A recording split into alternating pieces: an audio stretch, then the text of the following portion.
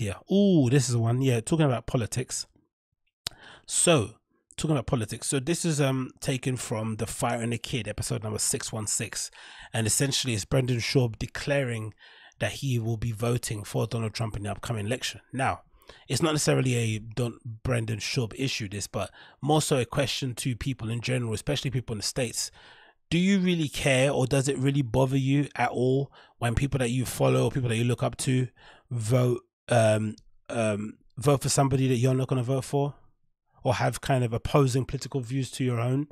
I know it's different now in the in the states because things are so tense in the US. It feels like um, you're on a knife edge. I think whoever wins, you know, Biden or Trump, I don't think either of the losing team is going to go out quietly, right? Um, you know, of course, race relations are all time high. Uh, or racial tensions, it feels like, especially on the internet. Um, the stuff that's happening in Portland is a madness. Like there's so many things happening, so many layers uh, of stuffs. Of course, Hollywood has been thrown into complete disarray. Celebrities are freaking out online, don't know what to do with their free time. They're stripping naked, telling you to vote. They're doing all sorts of nonsense. So I wonder, but I would like to know like what happens when you hear somebody you look up to and they come out and say, "Oh, I'm voting for that guy who you completely hate." Do you delete all their content and stuff that you're a fan of them of, or or because in Europe it's different because we just don't talk about politics openly that like as much as Americans do, right? Um, it's sort of something you kind of keep private or to yourself or to a select group of people that you kind of speak about those things too. But it seems like in the US, everyone just flings around or wears very proudly whatever party affiliations they're with, even if they're not, you know, an active you know, even if they're not kind of actively participating in politics, they sort of wear whatever party they're supporting very proudly on their chest, you know, on their bumper stickers, whatever it may be. So I wonder if this is a bigger deal in the States than it would be in the UK. Because I know if somebody I looked at in the UK came out and was a Tory, I wouldn't necessarily give a shit, right? Um, as long as I get the creative output that I've kind of known that I've kind of come to expect from that person, and the quality doesn't sort of kind of like yeah, it's a Dave Rubin thing. I can remain a fan of Dave Rubin even if you support somebody that I don't support politically, as long as the show remains good, right? The moment the show level starts to decrease or the message starts to get muddied, or I feel like he's kind of grifting and trying to, you know, play up to that base and the work suffers, that's when I'm out that's kind of my like, mark on it. But let's see what Brendan Schaub has to say regarding his opinion on Trump and the up and coming elections. Ele- elections, elections. I'd love to know your thoughts in the comments down below. Typical that I'd kind of mud- muddle up my words when I'm playing a Brendan Schaub clip in it. it's contagious. But anyway, let's see what he has to say. You hear him talk about Trump and funding, you're like, oh, like the he military makes sense. funding. He makes sense it'll make you just be like, oh fuck. It just make you think, you know? Because like with me with voting, it's all about me personally. Like certain people are gonna vote on things that's important to them, whether you know, it's not I, I don't like Trump or Biden. I don't like either guy. Copy that. So for me, what affects me is their tax laws, right? Mm-hmm. So I'm gonna vote based off tax laws. Mm-hmm. Well, the biggest tax cut for me would be Trump, right? But how big is a tax break really? Because I've looked into a bit of it, and it doesn't really. Again, this is me talking from an outsider's perspective, but it seems like it falls within the five to twelve percent bracket in terms of you know the difference between both guys. I guess I think, I think if I'm not mistaken, um, Biden has one of those tax things where you only get taxed a certain amount, you only get taxed a certain percentage if you earn up to a certain amount, right? That sort of conf- confusing thing that he does. And I guess Trump has got a bit more of a blanket, easy to read. If you've got money, I'm not going to tax you high sort of idea behind it. But I wonder if that's, if any of you guys know, can l- kind of lend more credence to what he's talking about here.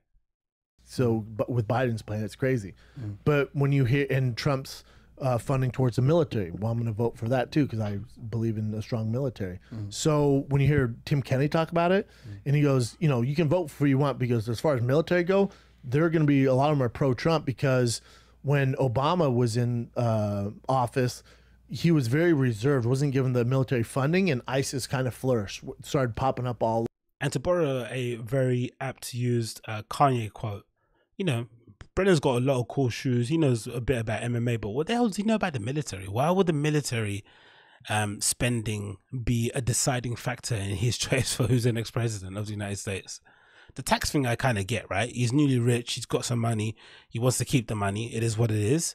But the military thing, like, what was somebody in his family in the military? Did he serve? I, I, I don't know what's this, or maybe that's an American thing again Like, do do people vote based? Like, if you were gonna vote for a candidate, wouldn't it be vote? Wouldn't you vote on them based on the things that actually impact you in some way, shape, or form? Whether you had, you know, you came from a military family or you served yourself, um, but just you know, just being a guy and just deciding I'm going to vote for this guy because he's going to spend more on the military is very bizarre, especially considering what's going on in the world. But hey, I don't know. All over. It was Trump came in, gave us the funding, Mm-hmm. and what he says, release the hounds, was like, yeah, there's gonna be some casualties, but do what you want to beat ISIS. You know how long it took our special forces to beat ISIS? Mm-hmm. Three months. That's a again. I'm not very politically minded, but I'm assuming that's a very oversimplification of a very complex issue that probably was not the you know, not one person can sit there and say, "Oh yeah, I was the one responsible for defeating ISIS." I think every president, sort of like, um, you know, since maybe ISIS Deception played some sort of role in eventually defeating them. And I would assume just things changing, um, other people getting involved, deaths. I don't know. I'm sure it's just not just Trump giving them more money, and that's why they defeated ISIS. That's a very rah rah sort of like you know, um, America sort of way of looking at things. I'd imagine. Maybe I'm not right. I don't know. Three months. Instead of the four years with Obama, with the proper funding and capabilities, our military's the baddest on earth. It took them three months. Shout out to Is Is. That makes me proud to be He is, American. he is. That's ISIS. But if you Why real- shout You don't want to shout out to ISIS. Why are you shouting out ISIS? Can we edit that? No, I was, Yeah, yeah. no, because we defeated that them. We def- no, we No, no, defeated. no, no. Nah, I'm with the military. no shout out to ISIS. no, no, no, no, shout out. Also, if you So yeah, um, Schaub is a Trump fan. It, we, it shouldn't be surprising, really. I think we've heard him sort of like dancing around that a few times. Um, it definitely goes a, long way. It definitely says a lot more about the show that he's starting to say this sort of stuff now.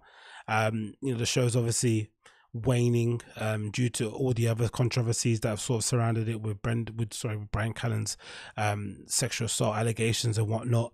And obviously, I'm assuming that is that article still going to come out regarding the comedy scene that someone in, in, in the Los Angeles Times was threatening to publish. If that's true, everyone's still on tender hooks. Everyone's still sort of like on their, you know, still sort of uh, watching their shoulders and making sure they um, don't get themselves in unnecessary trouble. But there's also the aspect of making sure that people click on your videos and you know um, comment and stir sort of controversy up. And I think you know sometimes maybe dipping your feet in the political landscape, especially in America, is a great way to sort of get engagement and get people to contact and sort of like you know throw hate your way.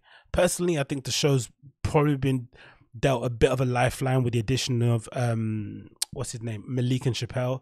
I think they've been great additions to the show. So much so, I think this was actually I watched that show in full and I really enjoyed it. I think that was probably one of their better ones they've done in a while. Um, the chemistry between the the three of them is getting a little bit better. Brendan's still a little bit tetchy. It feels like he doesn't necessarily know how to talk to black people that well. That's just my reading from the outside. He doesn't banter that well with them. Um, he doesn't. He gets a little bit uncomfortable when they sort of like do their own inside jokes and they sort of laugh hysterically, like you know black guys do in general. Um, he doesn't know really what to do himself, but he's he's slowly getting there, and I think um, they've sort of been helped with their sort of like laid back, laissez faire, jovial attitude. The fact that they're still getting their, you know, they're still finding their feet in the comedy scene is probably lended itself to being good. And the fact that they're not necessarily trying to compete for the number one spot on the show, right? Because we saw it's Brendan's show. He's the top dog in the room. So I think that sort of helps with the balance. But the show isn't what it was, in it? There's no denying the show was better when Bryan Callen was on it. Even towards the end when Bryan was being a real misery guts and they were sort of like quietly hating each other, the show's not as good as it was prior. It definitely isn't. It probably will never return to that because, you know, things have just changed. Um, I'm sure Brendan's priorities have changed, so has Bryan's.